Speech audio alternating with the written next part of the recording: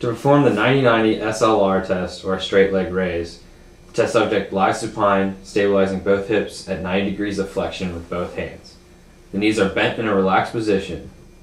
The examiner stands next to the subject. The subject is instructed to actively actively extend one knee at a time as much as possible. The test is also performed bilaterally. A positive finding would mean when the knee is flexed greater than 20 degrees, and this means that the hamstrings are considered tight.